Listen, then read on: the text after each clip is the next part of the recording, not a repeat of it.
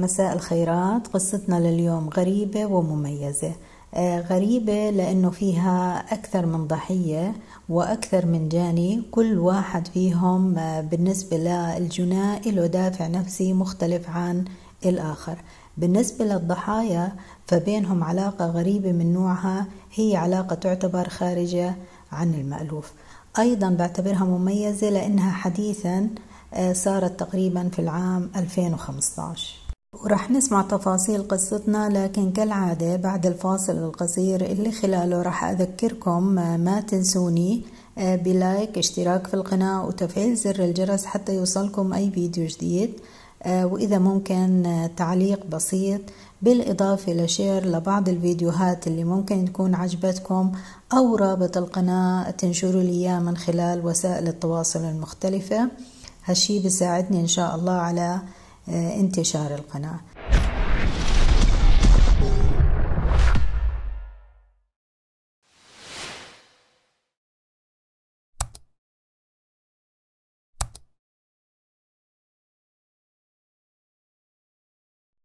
القصة صارت بتاريخ أربعة لخمسة أكتوبر يعني كانت العملية خلال الليل آه، وصارت في مدينة بسموها لوثيان من مدن ميريلاند. وهاي القصة بتبدأ باتصال من سيدة من السيدات على 911 هلا الاتصال بيكون جدا مثير للشك لأنه هاي السيدة بتخبر عن وفاة زوجها لكن طريقتها في التحدث مع الموظفة على 911 آه، بتكون غريبة لأنها بتكون هادية لأبعد آه، حد. بتكون كأنها بتحكي قصة ومن خلال هاي القصة بتذكر فكرة إنه زوجها ممكن يكون مقتول وموجود على سريره. اسمعوا المكالمة. بتحكي أنا مضيت اليوم مع أولادي أقضي بعض الأعمال. أخذت واحد منهم على الدنتست واللي هو طبيب الأسنان وبعدين أخذت بنت الثانية حتى نروح ونتسوق. وبعد هيك رجعت على البيت على أساس أخذ زوجي عنده موعد آه، للطبيب. يعني هي بتسرد قصة زي ما حكيت لكن لما وصلت هناك حصلته موجود على السرير وفي بجانبه مسدس. لما تسألها موظفة 911 إنه هل ممكن يكون هو أطلق النار على نفسه بتحكي لها أنا ما بعرف. بتكون في قمة هدوءها. على طول بتتحرك دورية من رجال الشرطة وأكيد آه، سيارة إسعاف للمكان ولما يوصلوا بيحصلوا الزوج آه، موجود على سريره. وفعلا واضح أنه في طلقة واحدة أطلقت عليه على منطقة الرأس. لما يوصلوا رجال الشرطة أصلا هي بتكون ما زالت على التليفون مع 911 وبتكون مفاجأة. البيت من الخارج جميل بكل معنى الكلمة. لكن لما يدخلوا داخل البيت آه واضح إنه هو آه يعني آه في وضع سيء في قمامة في كل مكان الأشياء منتشرة الملابس البيت في وضع أكثر من سيء. المتصلة هي سيدة اسمها آن أنستازيا وهي واضح عليها إنها إنسانة متماسكة خجولة آه، لكن غريب موقفها مش مهتمه ابدا بفكرة إنه زوجها مقتول. آه، الزوج واللي اسمه أنتوني آه، أنستازي وعمره تقريبا أربعين عام موجود على سريره وبالقرب منه مسدس عيار 45 البداية كان شكوك رجال الشرطة أنه الموضوع موضوع انتحار لأنه مكان دخول الرصاصة فيه حريق دليل على أو مكان محترق. دليل على أنه تم إطلاق الرصاص آه، من منطقة قريبة جدا. أثناء الكشف على الجثة الزوجة بتبدأ تحكي بعض التفاصيل زي مثلا إنه هي لما رجعت بعد ما وصلت أولادها الكبار على المدرسة وأخذت وحدة تانية على طبيب الأسنان زي ما حكيت وتسوقت مع بنتها اللي عمرها 13 عام آه، رجعت على البيت. طبعا بنتها على أساس أنه كانت مريضة آه، بها اليوم وما راحت على المدرسة. تكمل هاي الزوجة وبتحكي أنه زوجها بالفترة الأخيرة كان مكتئب جدا آه، كان عنده عدة إصابات في منطقة الظهر لهيك أصلا ما كان يشتغل بسبب هاي الإصابات. لما بدوا يسألوها مين اللي بعيش معها في البيت حكت إنه هم أولادها بالمناسبة هم خمسة وكلهم موجودين تقريبا في المدرسة. هلأ اللي بصير إنه فجأة بتتذكر بتحكي إنه آه في عنا حد تاني بيعيش معنا لكن موجود في ال basement وهي بنت عمرها 25 عام واسمها جاكلين ريكس. جاكلين هاي فتاة شابة زي ما حكيت في العشرينات من عمرها حظها سيء جدا في هالحياة.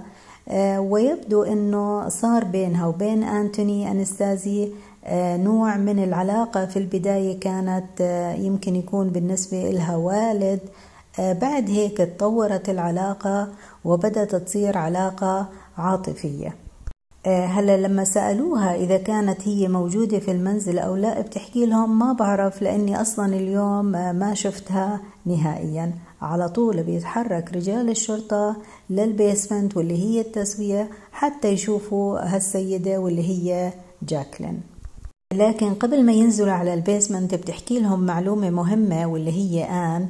آه إنه في الليلة الماضية صار بينها وبين زوجي واللي هو أنتوني خلاف آه، واضح إنه كان صوتهم عالي وفي صراخ في المكان. بعد هيك هو رجع على غرفة النوم اللي آه، اللي هي ال master bedroom اللي بيعيش فيها أو بينام فيها هو وزوجته. آه، لما شافها لزوجته حكى لها إنه خدي أغراضك وترك الغرفة خدي القطط معاكي وروحي نامي. في غرفة الأولاد بتحكي واضح أنه كان هو منزعج ويبدو أنه متوتر. ولما ينزل رجال الشرطة على هالدرج المظلم المؤدي للبيسمنت لما يوصلوا هناك بيحصلوا منظر مخيف مخيف مخيف. في وسط الغرفة بتكون سجادة مليئة بالدماء وعليها جثة جاكلين واضح إنه هي تعرضت لكمية كبيرة من الطعنات في كافة أنحاء جسمها إيديها الظهر البطن كل شيء ممكن يخطر على بالكم حتى الأقدام فيها آه، عدة طعنات تقريبا 42 طعنة. الدم منتشر في كل مكان على السجادة على الأرض على الحائط. آه، يبدو إنها هي كانت تحاول تدافع عن نفسها لأنه في جروح تدل على إنه على منطقة الايد تدل على إنها حاولت إنها تقاوم الشخص اللي اعتدى عليها. اللي بضيف للموضوع نوع من الرعب هو إنه كان في موسيقى شغالة داخل آه، ال basement وكأنه مشهد من مشاهد آه، أفلام الرعب. ولما يفتشوا مسرح الجريمة في ال basement بينتبهوا لشيء مهم جدا واللي هو إنه الباب آه، الخارجي لهاي ال basement مقفل الشبابيك مقفلة. ما في دليل على إنه الشخص اللي قتلها خرج بطريقة آه، من نفس ال basement. هو أكيد صعد أعلى الدرج وبعد هيك اختفى. على الأغلب هم فكروا بطريقة إنه الزوج قتل آه، هاي البنت اللي هي آه، تعتبر عشيقته وبعد هيك راح للطابق الثاني وانتحر. بسموها هاي شغلة murder suicide يعني أول شي بيقتل وبعدين بينتحر. لكن لما بيتم تشريح الجثة بتوصلهم معلومة خطيرة جدا واللي هي أنه الرصاصة اللي قتل فيها الزوج هي ما زالت داخل الرأس. لما يستخرجوها ويقارنوها مع المسدس اللي كان موجود بجانبه ما بتكون مطابقة وهنا بنقلب التحقيق رأسا على عقب. إذا المسدس الموجود بجانب أنتوني مش هو المسدس اللي تم فيه عملية الانتحار وهالشي غريب جدا. فكروا بطريقة أنه يمكن نفس المسدس لكن الرصاصات عيار مختلف. لما حاولوا يستخدموا هاي الرصاصات في المسدس اللي هو 45 كاليبر أبدا ما نجحت العملية.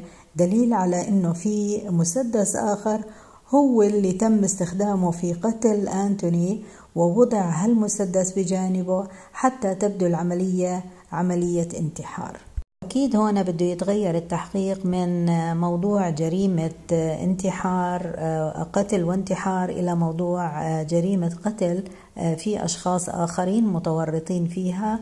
بتم استدعاء الزوجة واللي هي آن بالإضافة لبنتها اللي عمرها 13 عام لمركز الشرطة حتى يحكوا عن اللي صار في هاليوم أو صباح اليوم المخيف.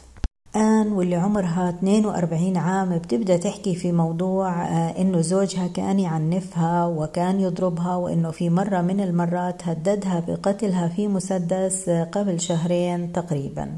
وبتكمل وبتحكي إنه هي كانت تخاف تخبر الأشخاص والمحيطين ورجال الشرطة عن موضوع التعنيف لأنه كان يهددها في حالة عملت هيك فهو راح يقتلها وأيضا يقتل الشخص اللي هي بتخبره هاي المعلومات. في المقابل الأولاد رسموا صورة مختلفة لوالدهم. الأولاد كان أعمارهم بين سبعة وسبعة عشر عام بالمناسبة. رسموا صورة مختلفة لوالدهم إنه هو كان إنسان لطيف يحبهم يعاملهم بطريقة جيدة لكن استنتج المحققين إنه في علاقة آه، سيئة بين الثلاث أشخاص اللي هم الوالد البنت اللي اسمها جاكلين والموجودة في البيسمنت بالإضافة للزوجة واللي هي آن. العلاقة بدت بين هالثلاث أشخاص أثناء وجودهم في ميتشيغان. اللي هم آن وأنتوني وجاكلين هي كانت آه، ثلاثية علاقة ثلاثية في الأمور الحميمية. وبتحكي الزوجة إنه هي بعد مرة واحدة من هاي العلاقات خلاص بدأت ترفضها مع إنه مصادر أخرى بتحكي لا هي استمرت في هاي العلاقة لفترة. آه، المهم إنه لما قرروا يروحوا على ميريلاند ويتركوا ميتشيغان هون الزوجة طلبت من زوجها إنه خلاص يستغني عن جاكلين آه، لكن هو رفض وحكى لها إنه راح تيجي معنا وإنه إذا انت مش عاجبك الوضع بإمكانك إنك تتركي المنزل. آن بتوصل لمرحلة إنه العلاقة خلاص صارت بين زوجها وهاي البنت واللي هي جاكلين وهي صارت خارج العلاقة تماما. هي مجرد أم لأطفالها داخل المنزل. على الأغلب هو كان يمضي معظم وقته في البيسمنت مع هاي البنت. لما سألوها رجال الشرطة ليش ما واجهت زوجها بهالموضوع بتحكي إنه هي واجهته وفي النهاية طلب منها إنها تترك المنزل زي ما حكيت. وأنا بتحكي أنا ما عندي استعداد نهائيا إني أترك أطفالي آه، بهالوضع. لهيك قررت أستمر في علاقتي مع آه، هالزوج. لكن زي ما حكيت هم تقريبا منفصلين. لما يسألوها إذا كانت تغار من طبيعة هالعلاقة بتنفي تماما وبتحكي إنه أنا كنت أطلب منه إذا أنت بدك إياها خلاص أترك البيت أنت. وهي لكن هو كان يرفض بس هي ما عندها غيرة آه، أبدا من هالموضوع. بيبدأ التحقيق مع البنت وهون الأمور بتختلف. آه، لكن قبل ما أحكي في موضوع تحقيق البنت خليني أحكي لكم شو طلبوا منها وكانت مستعدة إنها تقدم. آه، طلبوا إنهم يفحصوا ملابسها على أساس يشوفوا آثار البارود آه، طلبوا إنه ياخذوا عينات دي إن إيه ما كان عندها مانع نهائيا حتى إنها تعمل فحص كذب وما كان عندها أي مشكلة وكانت هادية إلى حد كبير.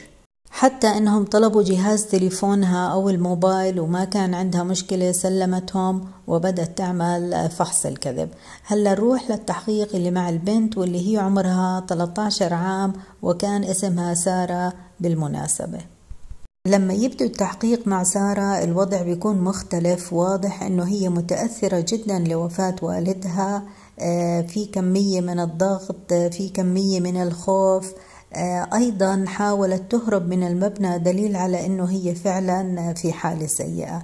لما يبدوا يحققوا معها بتبدأ تتضح الأمور بشكل آه، واضح. من خلال التحقيق بيستنتجوا أنه سارة آه، في فترة من الفترات سمعت نوع من الحديث بين والدها وصديقته أو عشيقته واللي هي جاكلين. هالحديث يدل على إنه هم بيخططوا يكون عندهم بيبي آه، مع سوا وممكن يكون هالشي آثار آه، غيرة هاي البنت لأنه علاقتها جدا مميزة بوالدها. وكان فعلا دليل على ذلك إنه وجدوا زي شريحة في البيسمنت تدل على إنه هاي السيدة في فترة من الفترات عملت فحص من فحوص الحمل. لما تبدأ شكوك المحققين بيطلبوا منها جهاز الموبايل وما بيكون عندها مانع البنت بتقدمه وهنا بيبدوا يتبعوا بعض المسجات والمكالمات الغريبة بين الأم والبنت بالإضافة لشخص آه، خلال هاي الفترة بيرجعوا بيستدعوا الأم وبيخبروها بنتائج المختبر واللي تثبت إنه ملابسها عليها آثار بارود آه، بالإضافة لأنها فشلت في فحص الكذب. ردة فعلها بتكون آه، غير عادية واللي هي إنه كلامكم غريب جدا. أيضا بيواجهوها بمكالمة صارت في ليلة حدوث الجريمة تقريبا بينها وبين بنتها استمرت لمدة عشر دقائق. هي بتحاول تظهر الموضوع أنه يمكن كانت مس كول يعني أو خطأ في الرقم لكن بيحكي لها لا هي كانت مكالمة طويلة على مدى عشر دقائق وأنه هاي المكالمة أبدا مش صدفة وكأنهم كانوا يرتبوا لجريمة القتل في هالعشر دقائق. ومن خلال المسجات الموجودة في جهاز الموبايل الخاص بهاي البنت واللي هي سارة بيعرفوا إنه كان في مؤامرة بين الأم ووالدتها حتى يتخلصوا من الوالد اللي هو المعتدي. آه، بالإضافة طبعا هم بيحكوا عنه معتدي. آه، بالإضافة للتخلص من السيدة واللي هي جاكلين اللي هي دمرت عائلتهم حسب الكلام اللي بين آن وبنتها سارة. لا وهم ما نفذوا خطتهم لحالهم. استعانوا بأحد الأشخاص واللي كان عمره 18 عام اسمه جابرييل ستراس واللي بيكون صديقها للبنت سارة. جابرييل هو من منطقة أنابوليس عاش هناك في فترة من الفترات مع عائلة بنته. وبعد هيك لما صار عمره تقريبا في ال high school ترك عائلته وراح يعيش مع جده. وكان يعاني من مشكلة خطيرة جدا واللي هي إنه ما عنده أسرة تحتويه آه، فالمحققين وصلوا لنتيجة إنه ممكن هاي السيدة اللي هي آن آه، أقنعته بأنه هي راح تحتويه هي وبنتها وراح ينتقل للعيش معهم في المنزل. وفعلا ثبت هالكلام آه، من خلال المسجات أنه هم أو الوالدة بالذات تلاعبت فيه وحاولت تقنعه بهاي الفكرة. بحسب كلام المحققين واستنتاجاتهم فهالأم واللي هي آن استطاعت توصل فكرة لجابرييل إنه زوجها آه، بالإضافة للبنت واللي هي جاكلين آه، هدول أشخاص أبيوسف آه، يعني كانوا يعنفوهم لهيك من المفروض إنك تقتلهم وبعد هيك رح تنتقل وتعيش عنا في البيت ونعيش أسرة سعيدة. في واحدة من هاي المسجات اللي بيرسلها جابرييل لصديقته بيحكي فيها إنه أنا رح أذبح البنت وأقتل الأب. دليل على إنه فعلا هم حتى طريقة القتل اتفقوا عليها. وخلينا نيجي هلأ للترتيبات اللي كانت في ليلة الجريمة. لما عرفوا بهاي المسجات على طول بيتم اعتقاله لجابرييل وبتفاجئوا بإنه بيكون آه، واضح إنه هو حزين. مستاء ويشعر بالذنب وما بيحاول أصلا يخفي أي معلومة وبقدم لهم تفاصيل كبيرة عن الموضوع بيحكي فيها في النهاية إنه اللي تلاعب فيه هي آن وأجبروا على تنفيذ الجريمة. آه، في ليلة الجريمة آن مع بنتها سارة بيروحوا لعند جابرييل ستراس وبياخدوه من المكان اللي كان يعيش فيه وبيتركوه في الباك يارد اللي هو الساحة الخلفية مختبئ حتى يتأكد إنه الجميع آه، ناموا. لما يناموا بيدخل على المطبخ وهناك بيقابل آه، آن واللي على طول بتعطيه مسدس. آن بتسلم جابرييل مسدس عيار 380 آه، في المقابل هو بيكون معه سكين. أول شي بيعمله إنه بيدخل على آه، ال basement وبيبدأ يطعن جاكلين وبيتأكد تماما إنه هي توفت. بيطعنها تقريبا 42 طعنة. بعد ما يخلص من جاكلين بيطلع على الطابق العلوي بيطلق رصاصة على الوالد وبياخد المسدس اللي بإيده وبيغادر المكان. اللي بيوصلوا على المكان اللي أخذوه منه هو صديقته واللي عمرها 13 عام. آه، في الجانب الآخر من المنزل كانت الوالدة تحاول تعثر على المسدس وتضعه بجانب زوجها على أساس أنه عملية انتحار وما كانت عارفة أنه هو أخذ آه، المسدس معه. أخذت المسدس الآخر ووضعته بجانبه على أساس أنه الموضوع زي ما حكيت موضوع انتحار. في صباح اليوم التالي التنتين صحيوا من نومهم أخذوا شاور لبسوا ملابسهم تناولوا طعام الإفطار وبعد هيك تركوا المنزل. وأكيد بتم اعتقال ثلاث أشخاص وبتوجه لهم تهمة القتل من الدرجة الأولى. طبعا جريمتين قتل لكن هم متأكدين أنه آه، المخطط الرئيسي للموضوع كله هي الوالدة آن. بالنسبة للبنت واللي هي سارة آه، فتم الحكم عليها بأنها تكون موجودة في آه، مكان إصلاحية اللي هو بيكونوا فيه المراهقين وهي ممكن يطلق سراحة لما يكون عمرها 21 عام.